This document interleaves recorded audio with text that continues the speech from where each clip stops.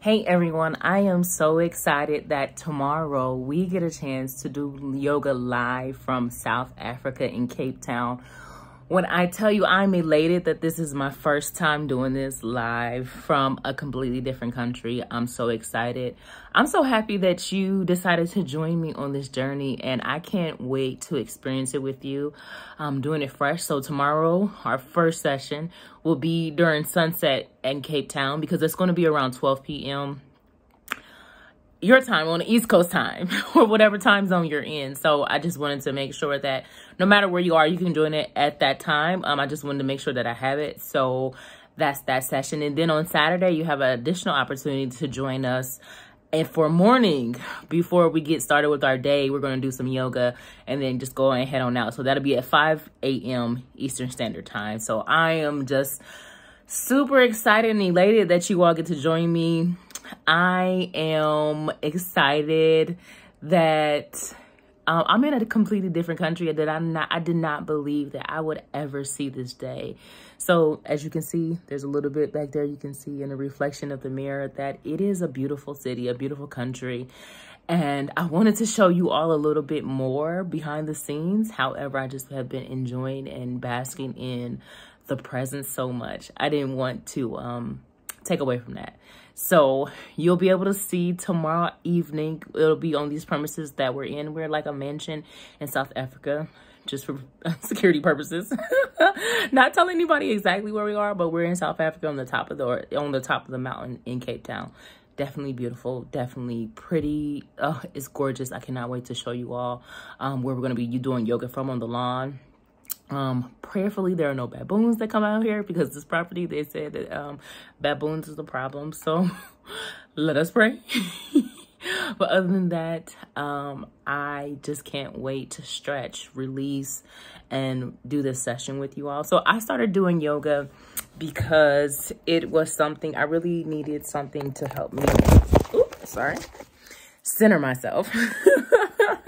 to center myself to uh, get back in touch with me because there have been times and there have been uh, there have been moments where I just haven't felt clear and I've been anxious. And so yoga has been one of those things that has helped me not cure my anxiety, but more so manage it in a better way. So when I'm coming to my mat, that's when I zen out.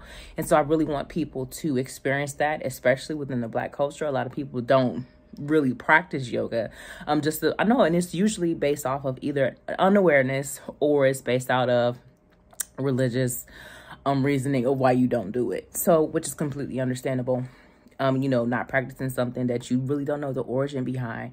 And so, um, which makes complete sense. But I hope that you take away from this session um, to find a little bit of peace on your mat, to find a little bit of groundedness, and you'll um, learn a little bit more about yourself when you come to your mat. And so when you come to your mat, that's a way of showing up for yourself. That's a way of saying, hey, I'm here for me. I'm here to connect with me. I'm here to talk to spirit. Your spirit can be Jesus, Holy Spirit, yourself, whoever that is, um, just to hear. Because um, sometimes with all the busyness of the world, um, we just don't sit still. And so that's what my practice or what I will bring to the practice is definitely that stillness. I love slow posture yoga, also known as yin yoga, um, where you hold poses for a little bit of uh, maybe five to six minutes. Usually I'm listening to soulful music. I'll have some uh, transformational music that you'll be new, it'll be new to you, but I hope that you enjoy it and that you um, value the difference of music. So it's not something that you have to listen to all the time, but it's something that definitely will get you in the mode of thinking, releasing, and just being present and so I'm excited. I can't wait for you to join me again tomorrow. It'll be sun, the sun will be setting in Africa. And then also on Saturday, we will do our morning yoga and then we'll get um started on with our day. So you all have a little bit more content versus uh, you know, the whole world. They're just seeing, you know, shots like, oh, you know, random shots of me in Africa. You all get a chance to, you know, hear firsthand why I'm doing this, what I'm doing this for, who this is for. And this is for, I would say mostly women. Most of my followers are women. So this is definitely for women of color.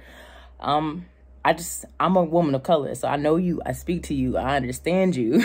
like, I understand what you're going through. Like you know, you're working hard.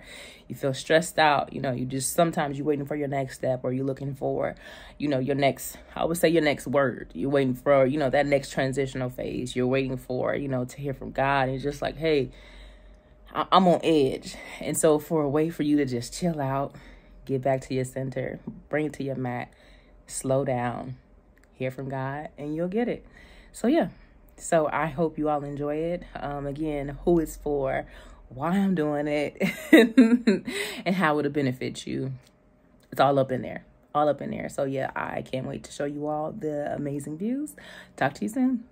Peace. Love y'all. Remember, do it for yourself. All right. Bye.